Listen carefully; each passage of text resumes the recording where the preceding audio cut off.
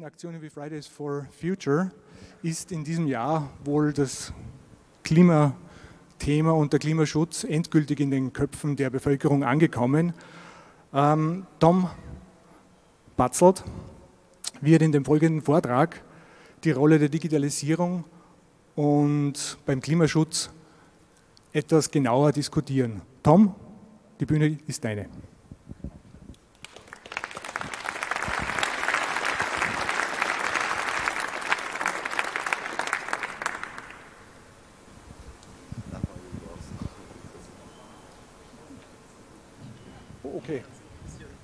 Sicher. Jetzt geht's. Also, nee, noch nicht. Ja, ja, alles gut.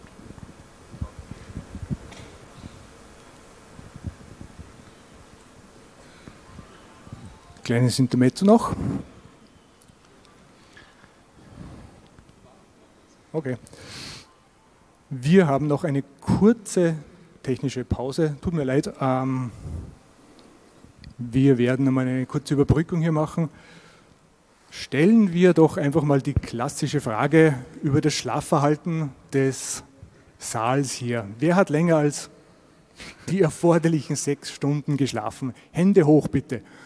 Oh Mensch, brav, brav. Okay, zwischen vier und sechs Stunden, oh, wenn schon weniger. Zwei oder weniger? Okay, passt schon. Okay, der Vortrag kann beginnen. Tom, deins. Also ein ausgeschlafenes Publikum haben wir hier. Ähm, ja, technische Fehler oder Schwierigkeiten sind bei uns auch immer wieder da. Fridays for Future kennen wahrscheinlich alle hier im Saal, sonst wärt ihr nicht hier. Ähm, jetzt bin ich schon fast ein Jahr dabei, seit Anfang Januar, und ich erzähle euch ein bisschen was dazu. Ähm, und bin heute hergekommen, um euch zu sagen, äh, ja, löscht das Internet. Äh, nein, kleiner Scherz. Ähm, wir sind natürlich nicht dagegen, ähm, Digitalisierung voranzutreiben. Im Gegenteil, wir nutzen sie selber ganz, ganz viel. Ähm, hier ein kleines Bild von äh, einer Demo aus Berlin und ähm, mit Greta Thunberg, die vor etwas mehr als einem Jahr äh, eine sehr mitreißende Rede gehalten hat auf dem ähm, Klimakonferenz in Katowice. Und äh, das hat mich persönlich auch sehr inspiriert, jetzt Teil dieser Bewegung zu werden und nicht nur allgemein Teil der Klimagerechtigkeitsbewegung. Ähm, ja, was wollen wir denn? Wir reden immer von Klimagerechtigkeit, äh, den Spruch oder diesen, dieses Gesang auf der, auf der Demo mit Climate Justice Now ähm, kennen wahrscheinlich viele. Äh, das 1,5 Grad Ziel ist auch in vielerlei Munde. Ähm, was ist eigentlich Klimagerechtigkeit? Das ist gar nicht so einfach zu fassen, aber ähm, man kann sich da mal ganz viel anschauen. Ich kann sehr empfehlen, sich die Bali Principles of Climate Justice anzugucken. Das ist, ähm, sind Stimmen aus dem globalen Süden, die da zusammengekommen sind. Und ähm, wir sind aber auch dabei, das noch im Detail rauszufinden, was für uns Klimagerechtigkeit genau bedeutet. Aber es geht über ein bisschen mehr Klimaschutz ähm, hinaus. Wir setzen uns eben auch für ganz viele andere Themen ein. Ähm, und der Klimaschutz, den wir betreiben, ist eben auch antifaschistisch und feministisch, queerfeministisch und so weiter.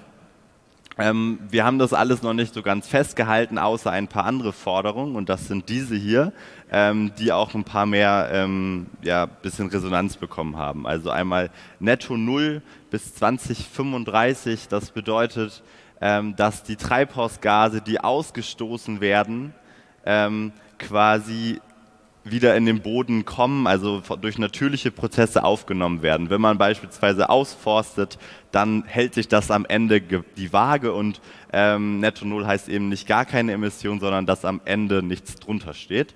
Und das wollen wir 2035 erreichen, bis Deutschland. Die Forderungen kommen aus April, vielleicht müsste das jetzt schon etwas früher sein. Wir reden auch immer vom Kohleausstieg, also Stein- und Braunkohle ähm, nächstes Jahr wird Steinkohle nochmal spannend in Deutschland mit einem neuen Kraftwerk. Wir wollen auf 100% erneuerbare Energieversorgung umsteigen und dabei kommen wir gleich nochmal ganz kurz dazu, dass Digitalisierung dafür notwendig ist. Ähm, und eigentlich bis jetzt quasi wollten wir von ähm, der, unserer Bundesregierung das Ende der Subvention von fossilen Energieträgern ähm, von und ein Viertel der Kohlekraft abschalten und diese viel diskutierte CO2-Steuer, allerdings nicht mit dem aktuellen Preis von 25 Euro pro Tonne CO2, sondern es sollte möglichst schnell auf äh, 180 Euro ansteigen. Das ist nicht absehbar. Also man könnte fast sagen, die Forderungen sind gescheitert oder wir sind dabei gescheitert. Ähm, ich sehe das allerdings überhaupt nicht so, denn wir haben ganz viel Themen und Thema Agenda-Setting ähm, betrieben. Menschen haben diese Bilder das erste Mal mit uns gemeinsam gesehen. Ich war dieses Jahr mindestens dreimal an einem Tagebau und ähm, ganz viele Menschen mit mir gemeinsam und die haben das zum ersten Mal wahrgenommen und diese Energie, die diese Menschen bei so einem Tagebau ähm, irgendwie Wut und Kraft und ähm, Energie, die da loswerden, also wird von den Demonstrierenden, ist super beeindruckend. Und äh, ich habe dieses Bild ausgewählt. Ähm, das ist von dem äh, Tagebau Hambach, also da, wo der Hambacher Forst auch ähm, bedroht ist, um einfach mal diese Dim Dimension auch der lokalen Umweltzerstörung von Kohle zu ähm, zeigen. Aber Kohle ist jetzt hier gar nicht so ein Riesenthema. Ähm, sondern wir reden über Digitalisierung. Wir berufen uns immer wieder auf die ähm, Wissenschaft und die Wissenschaft hat hier ähm, das WGBU, ähm, das ist so, da ist Frau Maya Göpel dabei, die Gründerin von den Scientists for Future. Ähm, auch sehr sehenswert, ähm, sich das mal anzugucken, was die Scientists so machen. Und sie hat eben gesagt, dass ähm, Digitalisierung eben nicht irgendwie das, das Problem ist, sondern ähm, dass wir sie richtig nutzen müssen. Und hier steht nochmal explizit drin, dass es eben, wenn es nur der Wirtschaft dient und der Steigerung von wirtschaftlichen Aktivitäten, dann werden die Emissionen damit auch steigern. Und wenn wir es aber klug anwenden in den unterschiedlichsten Bereichen und über die Sektoren hinweg, dann ist es genau ähm, richtig, diese auch zu nutzen. Und wir sind natürlich da immer dagegen, wirtschaftliche Aktivitäten zu produzieren. Und äh, Kapitalismus darf man da, glaube ich, mittlerweile auch mal aussprechen bei uns. Äh, das finden wir alles immer nicht so geil. Und ähm, wir nutzen die, diese ähm, Digitalisierung eben bei uns auch selbst. Und ähm, ich finde aber dieser Wirtschaftsfaktor ist einer der größten Erfolge der Fridays for Future Bewegung im letzten Jahr. Am 20. September waren wir mit 1,4 Millionen Menschen auf der Straße. Das ist beeindruckend. Was wirklich beeindruckend ist daran ist, dass das über in sechs, mehr als 600 Orten stattgefunden hat. Hier geht es auch immer so ein bisschen um Technik. Wir hatten Probleme, genug Veranstaltungstechnik zu organisieren, um all diese Demonstrationen beschallen zu können. Und das ist das, glaube ich, was diese Bewegung ausmacht, wie breit wir gefächert sind. Deswegen war für mich die positive Nachricht oder die politisch positive Nachricht am 20. September diese Umfrage. Und zwar hat Klimaschutz endlich den Wirtschaftswachstum überholt. Und wir reden, wir können anfangen, über eine andere Gesellschaftsform zu reden und wie wir unsere klimagerechte Gesellschaft aufbauen wollen.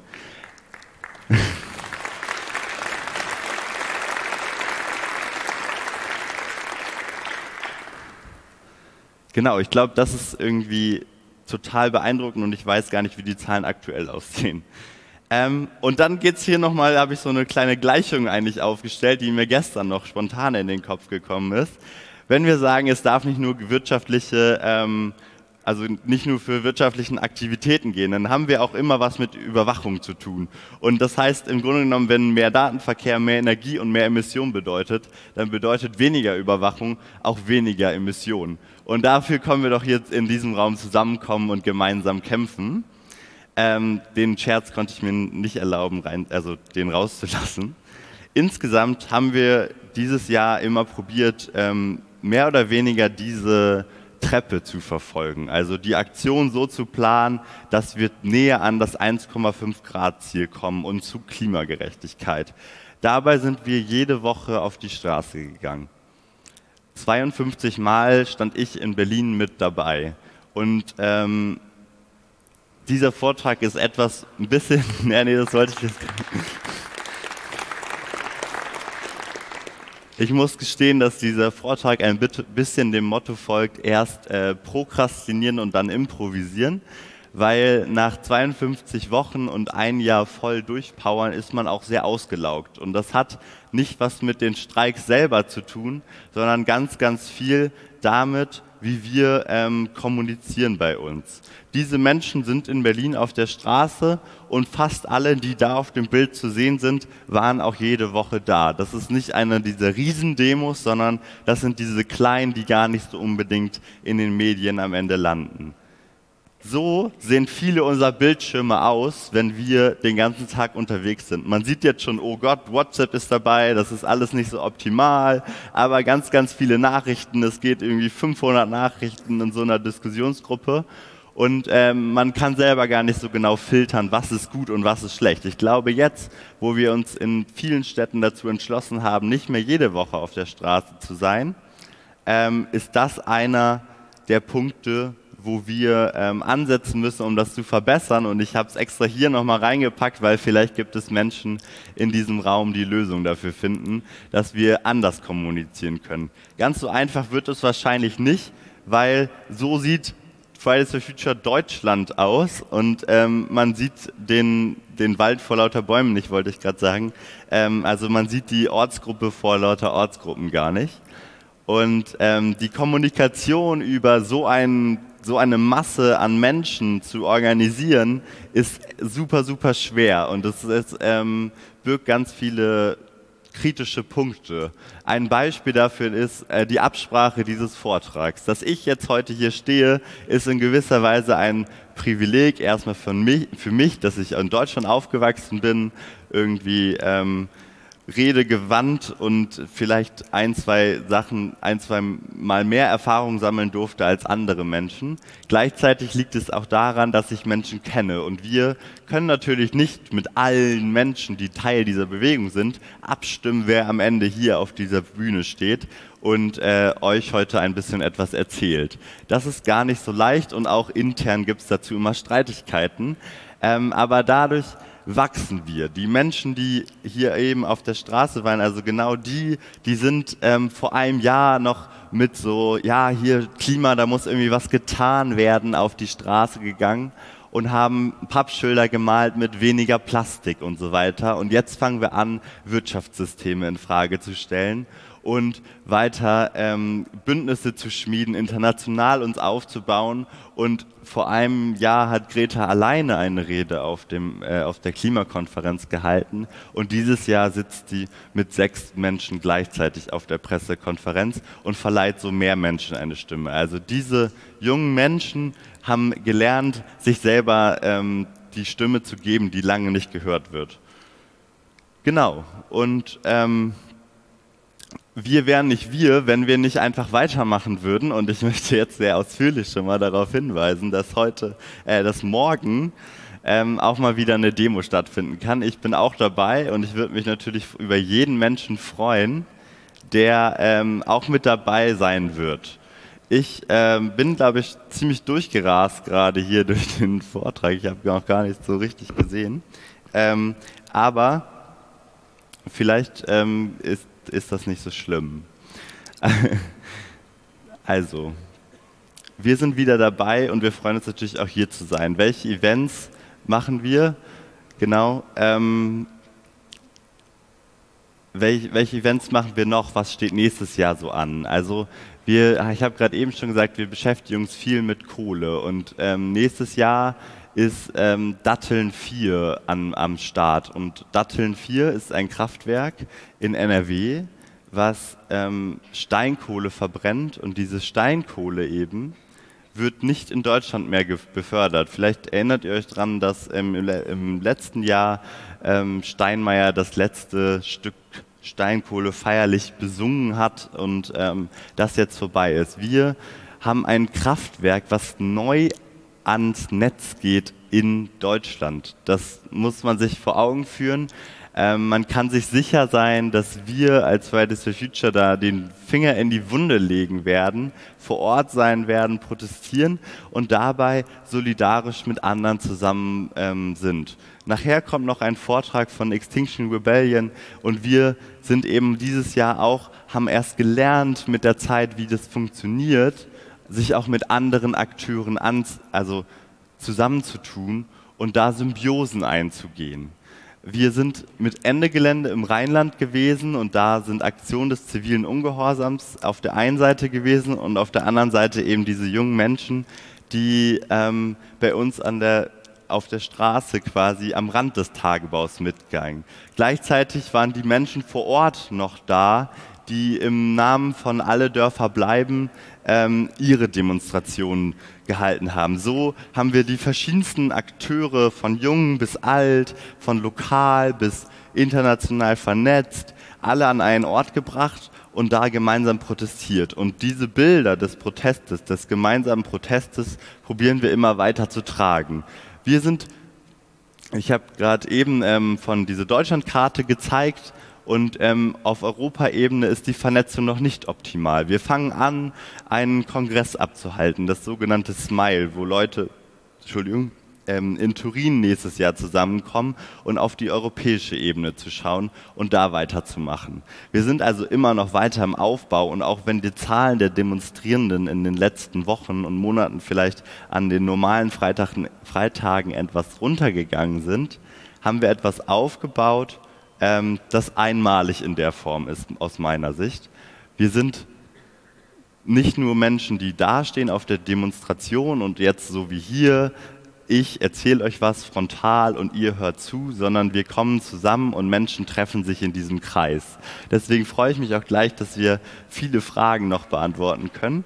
Aber um nochmal ein Bild zu zeigen, es sind eben nicht nur ähm, irgendwie in Berlin 200.000 Leute auf der Straße, sondern jede Woche äh, treffen sich bis zu 100 Jugendliche da, um, den, um diese Demos zu planen gemeinsam und äh, verabreden sich das ganz schnell digital und ähm, per WhatsApp.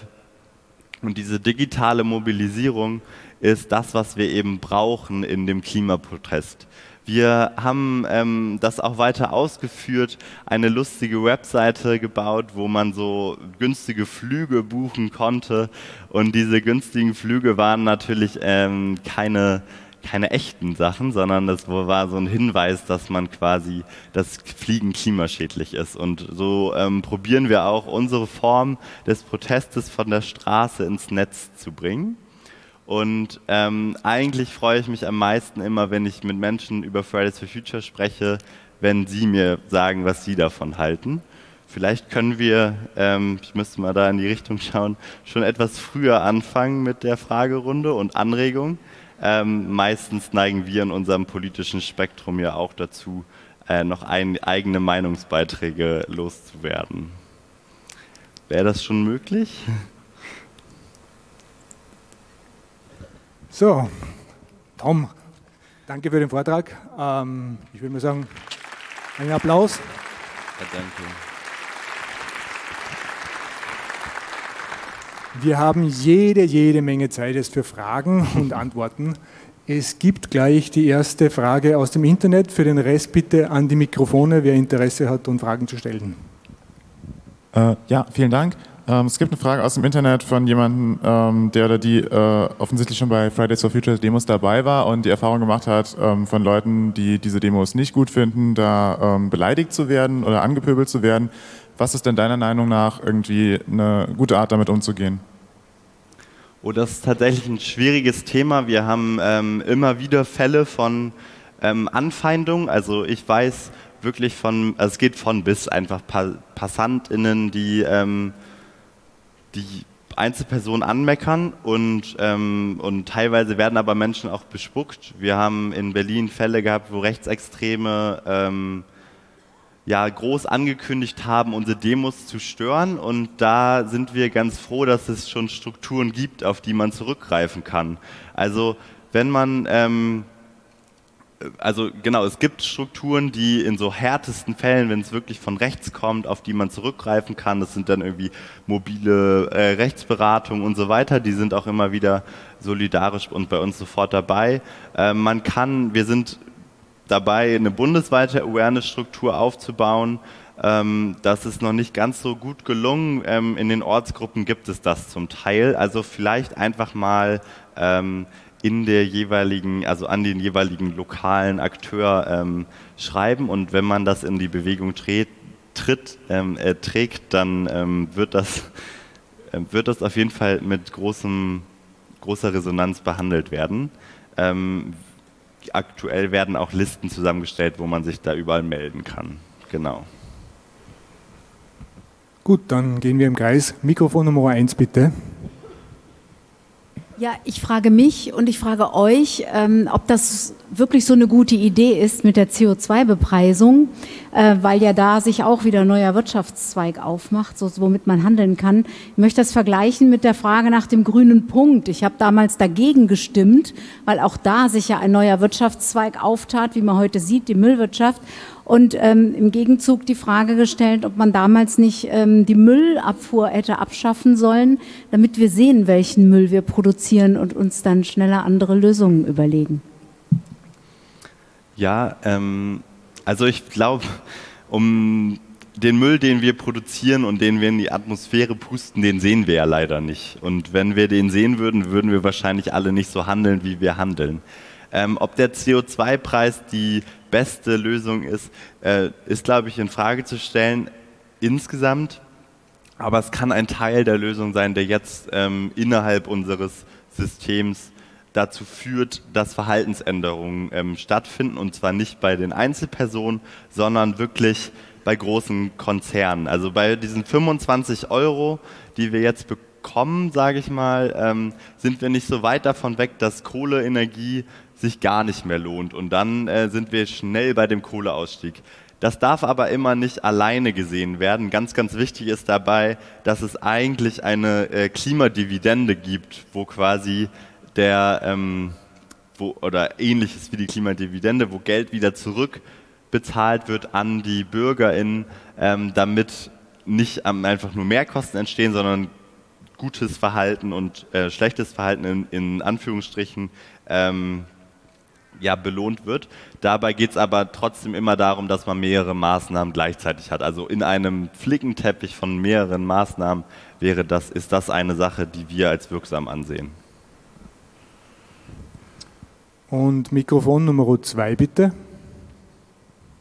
Diskutiert ihr auch ähm, in den Gremien oder auch in der Basis darüber, neben den Protesten auf der Straße und jetzt auch zukünftig in der europäischen Politik, ähm, den Protest auch in die Schulen zu bringen. Das heißt, den Freitag dafür zu nutzen, in der Schule einen Diskussionsraum zu schaffen, wie man Zukunft gestalten kann. Ähm, also da bin ich jetzt selber überfragt. Ich bin gar kein Schüler mehr, ähm, aber es gibt auf jeden Fall immer wieder Anregungen, die das, wie Leute direkt in die, dass die in der Schule selber aktiv werden und vor Ort werden. Ähm, ich glaube, du meinst aber noch was anderes, was wirklich groß angelegt ist, wo wirklich riesige Workshops, also riesige Versammlungen stattfinden, wenn ich das richtig? zwei, nochmal die zwei. Ähm, also eher in dem Sinne, dass man die Zeit, die man sonst auf der Straße verbringt, um zu protestieren, ähm, dafür nutzt, den diesen Zeitraum, den man hat in der Schule an dem Freitag, Lehrer einzuladen, ähm, andere Mentoren, äh, Referenten und sich zu den Themen beschäftigen, mit denen man wirklich eine nachhaltige Zukunft wirklich gestalten kann. Okay, also vielleicht etwas losgelöst von dieser Freitags- und Schule sind wir auf jeden Fall immer stark dabei, uns in groß, größeren Gemeinschaften weiterzubilden. Also ähm, wir hatten in Berlin lange Zeit direkt nach dem, nach dem Streik quasi zu unterschiedlichen Themen äh, Workshops, wo wir uns weitergebildet haben und auch der, ähm, das auch manchmal durch Unterstützung vom Naturkundemuseum vor Ort. Ähm, das jetzt direkt in die Schule zu verlagern, ist, glaube ich, der Diskurs noch nicht so da, aber ich werde es auf jeden Fall mal zurücktragen. Okay, Mikrofon Nummer drei bitte. Hallo, das ist kein Kreis. ähm, ich wollte fragen, äh, seid ihr dabei, das irgendwie in die Parlamente zu bringen, außer dass ihr halt auf der Straße aktiv seid? Also mir kommt das so ein bisschen wie eine außerparlamentarische Opposition vor. Und es gibt jetzt die Grünen oder sowas, aber so richtig eine Klimaschutzbewegung im Parlament habe ich noch nicht gesehen. War das eine Frage? ja, vielleicht, also wir sind selber überparteilich und ähm, ordnen uns ganz bewusst keiner Partei zu. Ähm, die Diskussion intern, was jetzt die beste Sache ist, also wie sollte man in die Parlamente selber reingehen oder also das ist dann auf einer individuellen Ebene. Also wir diskutieren nicht, dass Fridays for Future eine Partei wird, weil wir ganz anders organisiert sind als Parteien, die so Vorschriften haben. Also wir sind nach den Möglichkeiten, wie das irgendwie geht, probieren wir so basisdemokratisch wie möglich zu sein, haben ähm, auch äh, kaum bis gar keine Hierarchien. Also die Hierarchien entstehen einfach durch Wissen und durch äh, andere Machtverhältnisse, in, die unserer Gesellschaft insgesamt vorherrschen. Ähm, aber auch die probieren wir laufend abzubauen. Ähm, ich glaube, wir passen da gerade gar nicht so rein in so ein stark ähm, institutionalisiertes und zentralistisches ähm, Instrument wie so eine Partei aber ähm, viele von uns engagieren sich auch parteipolitisch und wir gehen auf jeden Fall in Kontakt mit Abgeordneten der Parteipolitik und äh, üben Druck auf diese Menschen aus. Ich glaube, in kleinen Schritten sieht man da auch manchmal Erfolge. Ähm, genau. Wir haben noch jede Menge Zeit. Eine Frage aus dem Internet, bitte. Ähm, du hast die IT-Infrastruktur angesprochen und es gab wohl gestern schon einen Talk, wo jemand über die IT-Infrastruktur von Extinction Rebellion gesprochen hat und äh, jemand aus dem Internet möchte wissen, ob ihr euch da irgendwie austauscht und vielleicht Sachen auch gemeinsam nutzt. Also bisher nutzen wir das äh, nicht gemeinsam. Die haben da ihre eigene Infrastruktur. Ähm, allerdings muss ich auch gestehen, dass ich nicht aus dieser Arbeitsgruppe bin, die ähm, sich mit der Webseite und der detaillierten Kommunikation quasi auseinandersetzen. Ähm, da sind auch Leute hier, also die könnt ihr gerne besuchen. Ähm, ich glaube, ihr findet es einfach im Internet. Ähm, aber zu der Frage, natürlich probieren wir immer weiter jetzt, wo wir ein bisschen mehr Zeit haben und nicht von diesem Freitag zu Freitag zu Freitag Rhythmus zu kommen, ähm, auf solche Menschen zuzugehen. Ich glaube, momentan läuft tatsächlich relativ viel über WhatsApp, Telegram, in bestimmten Fällen auch Signal-Gruppen ähm, in den seltensten Fällen äh, E-Mail intern und am meisten E-Mail nur nach außen. Genau. Und Mikrofon Nummer 4. Wenn man irgendwie bei Facebook oder irgendeinem anderen sozialen Netzwerk einen Artikel über euch liest, dann ergießen sich immer hunderte, tausende von Kommentaren darunter, die äh, die Bewegung lächerlich machen, die dann sagen, hahaha, und dann fliegen sie nächste Woche wieder in Urlaub, äh, sollen mal bei sich selber anfangen, bla bla bla. Und es gibt ja ganz viele Leute, die lesen das dann und die lassen sich davon leiten. Habt ihr eine Strategie? Wie dreht ihr die Kommentarspalten? Weil es gibt ja viele, die lesen das mit und die halten das dann für ausgewogen und ähm, ich glaube, im Denken von vielen Leuten ist noch gar nicht angelangt, dass sie eine eigene Rolle spielen könnten in dem äh, ganzen Klima. Mhm. Ja, also wir, ähm, wir probieren mehr Menschen von uns dazu akquirieren, dass sie tatsächlich diese Kommentarspalten moderieren, aber die perfekte Lösung haben wir da noch nicht gefunden oder relativ, sind stehen noch relativ am Anfang. Ähm, ich glaube, man muss dabei immer so ein bisschen sehen, dass diese Bewegung bei, in Deutschland immer noch ein Jahr, also noch nicht mal ein Jahr, ein bisschen mehr als ein Jahr alt ist und ähm, wir da teilweise einfach ein bisschen mit überfordert sind an der einen oder anderen Stelle. Ähm, aber wir sollten da auf jeden Fall aktiver gegenarbeiten. Wir probieren das ähm, vor allem auf äh, Twitter und Instagram uns da so fortzubilden, dass die Leute, die bei uns mehr Erfahrung haben ähm, und erfolgreich sind, irgendwie so Webinare anbieten, so dass man intern sich quasi über erfolgreiche Social Media Arbeit austauschen kann. Ähm, genau, aber wir sollten da auf jeden Fall noch weiter dran arbeiten, um diese Kommentarspalten besser zu moderieren. Und nochmal ins Internet. Äh, ja, das Internet ist ähm, emotional aufgerührt ähm, und äh, fragt sich, ähm, wie ihr das so auf der ganz persönlichen Ebene aushaltet, ähm, quasi immer demonstrieren zu gehen und dann immer mit dieser Ignoranz konfrontiert zu werden, auch äh, in Bezug auf die Klimathemen. Äh, gibt da Leute, die äh, steile Thesen haben, ähm, dass, dass Menschen Kinder leiden sehen wollen und so. Also wie, wie nehmt ihr das wahr und wie geht ihr emotional damit um? Also ähm da kann ich, glaube ich, nur ganz persönlich jetzt darauf antworten. Bei mir ist es so, dass ich ähm, jedes Mal, wenn ich das sehr, sehr akut sehe und wenn ich quasi diese Gewalt, ähm, also ich finde, das ist manchmal relativ, wenn man Rassismus sieht und wenn man Sexismus sieht, dann erkennt man das irgendwie sehr, sehr konkret und ähm, oder zumindest tun wir das, glaube ich, jetzt, wenn man für den ähm, Saal spricht, die, die da anfangen, also sehr stark reflektieren. Und bei diesem Klimathema ist es noch abstrakter. Diese Gewalt ist eben nicht, ähm, dass jemand einen quasi haut oder so. Ähm, das macht es manchmal tatsächlich ein bisschen einfacher, wenn man sich nur mit den Zahlen beschäftigt und so sagt, so viel haben wir noch, so viel brauchen wir noch. Das macht es leichter. In dem Moment, wo man es an sich ranlässt, wird es natürlich schwierig. Aber ich, bei mir ist eine Flucht nach vorn. Also ähm, deswegen bin ich im Aktivismus aktiv, denn wenn ich nicht nur da sitzen würde, dann ähm, würde, würde ich daran kaputt gehen. Und gleichzeitig gibt es auch Menschen, ähm, die uns dabei helfen zum Teil. Also es gibt so Psychologists for Future, die sich ähm, mit der psychologischen Hintergründe von der Klimakrise und auch dem Aktivismus beschäftigen. Und äh, da dürfen wir auch immer wieder darauf zurückgreifen, wo, wo ich persönlich dann auch stark von profitieren kann. Aber die Frage oder dieses, die, die Einschätzung des Internets ist gar nicht so falsch, dass es manchmal sehr, sehr frustrierend und äh, schwierig ist, das auszuhalten. Zurück in die Halle, Nummer 1 Mikro. Hallo, im Anschluss an deine Frage vorhin, wo du gesagt hattest, ihr versucht überparteilich zu sein. Es gibt ja seit zwei, drei Wochen den Vorschlag, den Artikel 20a Grundgesetz zu ändern und tatsächlich ein Klimaziel ins Grundgesetz zu schreiben. German Zero heißen die. Äh, hast du dazu eine Position? Also ähm, ich muss gestehen, dass ich diese German Zero ähm, NGO ist das ja noch nicht so wirklich gut kenne und ähm, deswegen nicht abschließend das ähm, bewerten kann. Ähm, wir haben auch als Bewegung noch keine Position dazu, aber die ähm, Menschen, die das irgendwie auf die Beine gestellt haben, haben schon erfolgreiche Kampagnen gefahren, ähm, wo, also dieser Radentscheid in Berlin beispielsweise. Und ich glaube, ähm, dass auf jeden Fall nicht rückwärts zählt, da quasi Energie reinzustecken. ob das unserer Ziel, unser nächster Coup wird, äh, wage ich zu bezweifeln.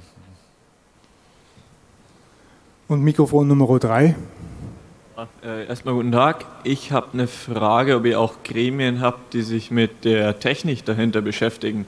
Wir können jetzt natürlich fordern, dass wir alle oder den Kohleausstieg, aber das muss ja dann mit sich bringen, dass wir so und so viele neue Windkraftwerke bzw. Wasserkraftwerke bauen müssen, wo es ja dann wieder auch Reglementierungen gibt, wo das alles aufgestellt werden darf.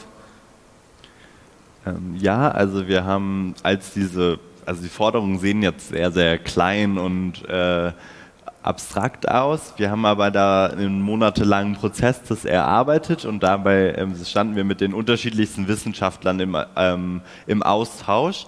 Ähm, auch da, also da findet man relativ viel, wenn man bei unserer Webseite auf das FAQ zu den äh, Forderungen geht. Ähm, da gibt es dann schon genaue Ansätze und wir haben das auch nur also das, was wir fordern, ist alles möglich insofern, ähm, dass Schritte dabei gegangen werden können. Natürlich ähm, beschäftigen, also es beschäftigen sich auch weiterhin damit Leute, ähm, welche Sachen wir verändern müssen, genau, ähm, wie erneuerbare Energien aussehen können und so. Zurück ins Internet.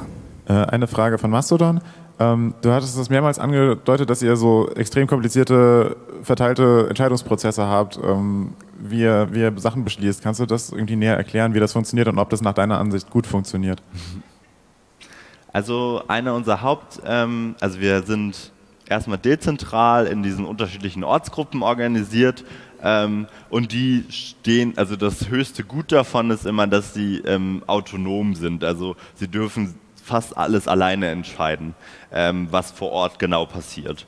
Und ähm, dann haben diese Ortsgruppen jeweils Delegierte, die sich vernetzen ähm, und wöchentlich in einer Telefonkonferenz sind, wo, und, wo man eben diese ähm, Tagesordnungspunkte eintragen kann und dann, ähm, dann wird darüber jeweils äh, darüber das quasi in die unterschiedlichen, über die Delegierten in die Ortsgruppen getragen, die stimmen das ab und dann wird es zurückgetragen. Das ist quasi das Beste, wie es funktionieren soll. Das funktioniert nicht immer, weil das sehr, sehr schnell gehen muss.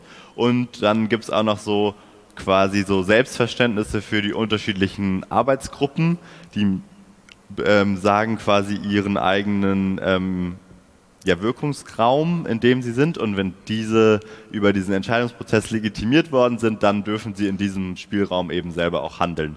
Ähm, perfekt ist es noch nicht. Ich glaube, das geht, also es ist auch super schwer, das, das perfekt zu machen. Ähm, wir diskutieren sehr, sehr lange darüber. Wir sind momentan mit so einem Strukturpapier selber dabei, was ich persönlich für einen bisschen zu starken Papierhai halte. Und wir ähm, aber daran arbeiten, das immer weiterzuentwickeln. Und ich glaube, der Grundsatz ist besser, als wie wir Entscheidungen in unserer Gesellschaft treffen. Und Mikrofon Nummer eins, bitte. Ja, ich wollte äh, nochmal Danke sagen, dass ihr äh, im Prinzip damit angefangen habt. Und äh, ich wollte im Prinzip nochmal darauf hinweisen, vielleicht eher an den Saal insgesamt, da ist schon zu sehen, es gibt halt auch De De Developers for Future, aber es gibt halt auch noch viele andere Gruppen. Und äh, mich würde interessieren im Prinzip, wie bekannt das eigentlich ist. Äh, vielleicht kann man da irgendwie nochmal optisches Feedback irgendwie machen. Also es gibt halt Artists for Future, es gibt Health for Future, es gibt die Parents for Future. Und äh, also mich würde das interessieren sozusagen, was, was muss noch passieren irgendwie, damit wir alle aufwachen, wenn ich jetzt so die Wissenschaft, äh, den, der Wissenschaft zuhöre und die sagt im Prinzip das CO2-Budget, was wir noch haben, um dieses 1,5 Grad Ziel nicht zu reißen, äh, hat irgendwie was mit sieben Jahren zu tun. Äh, wir können natürlich jetzt noch sieben Jahre warten, und dann irgendwie gucken, äh, ob es wirklich so dramatisch halt irgendwie eintritt, wie es äh, vorhergesagt wird. Ich persönlich möchte halt einfach mich engagieren, möchte halt irgendwie was mit reinbringen. Äh, ich ähm, mache bei den Artists mit, bei den Parents mit und äh, irgendwie alles, wo ich irgendwie meine Zeit noch reinstecken kann. Und äh, mich würde es einfach interessieren, so was muss noch passieren. Also was ist tatsächlich eine Frage an alle, weil ich glaube, die Verantwortung liegt eben nicht bei Fridays for Future, sondern es liegt sie liegt halt bei uns allen.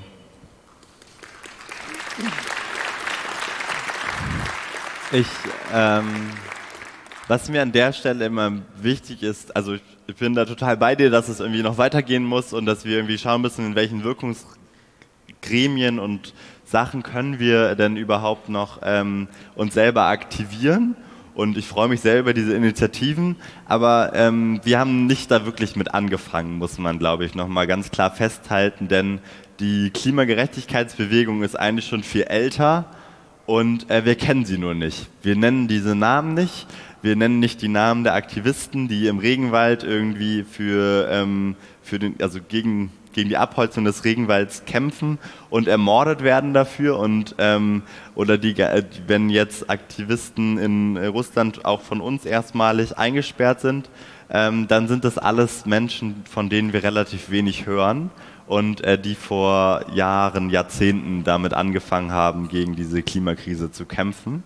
Ähm, deswegen würde ich mir als Fridays for Future Aktivist nie anmaßen, dass wir quasi damit angefangen haben.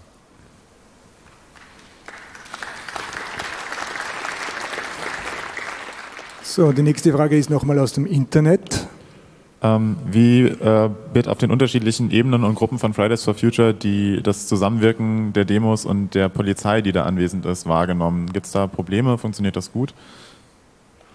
Äh, das ist ortsabhängig. Also ähm, teilweise durch diese wöchentlichen Streiks entwickelt man fast ein aus meiner Sicht kritisch enges Verhältnis, weil äh, einfach die Absprachen viel, viel schneller laufen. Es ist schon eine Routine, dass halt die nächste Fridays for Future Demo angemeldet ist. Mancherorts ist es, werden aber auch viele, viele Bausteine uns ähm, in den Weg gelegt und ähm, die Kommentare und äh, Dinge, die man zwischendurch ähm, von einzelnen PolizistInnen hört, sind nicht immer wohlgesonnen. Aber das kann man, glaube ich, pauschal für die deutschlandweite Bewegung nicht ganz so sagen. Ähm, wir sind da relativ in, also entspannt grundsätzlich, haben äh, eine gewisse, glaube ich, natürliche Distanz und ähm, mal gucken, wie es weitergeht, wenn sich Aktionsformen eventuell verändern sollten. So, eine Frage haben wir noch. Mikrofon 1, bitteschön. Vielen Dank äh, an euch für eu euer Engagement und die Tatsache, dass ihr das Thema Klimakrise wirklich in das Bewusstsein von wirklich jedem, der Nachrichten liest und hört, ähm, gebracht habt. Also super Geschichte. Ähm, eine rein praktische Frage, wenn man sich ein bisschen näher mit, mit Energieerzeugung beschäftigt, stellen wir halt fest, dass äh, regenerative Energien, das heißt Strom und äh, Solar und Wind im Wesentlichen halt unkontinuierlich laufen und äh, wir aber eigentlich keine Technologie haben, die Strom wirklich gut speichern kann. Ähm, und ich habe leider auf eurer Webseite dazu auch nichts gefunden. Gibt es da Konzepte, die ihr vorschlagt?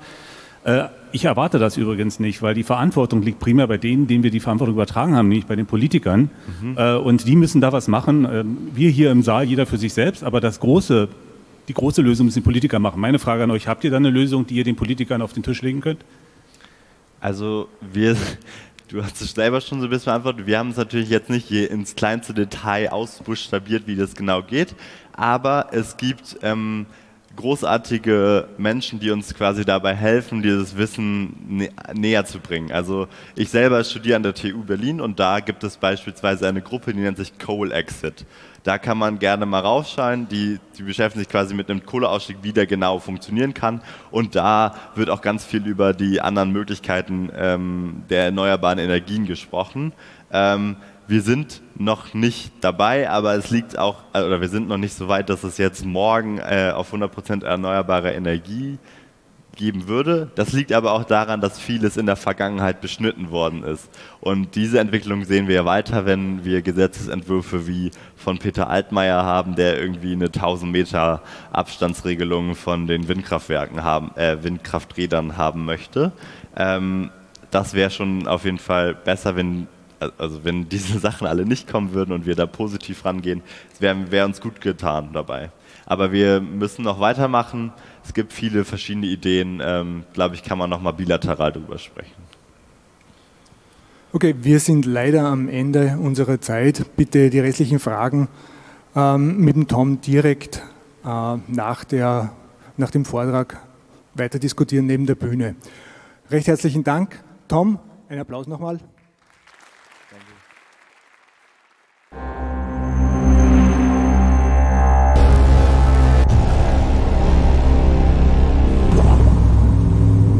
Mm-hmm.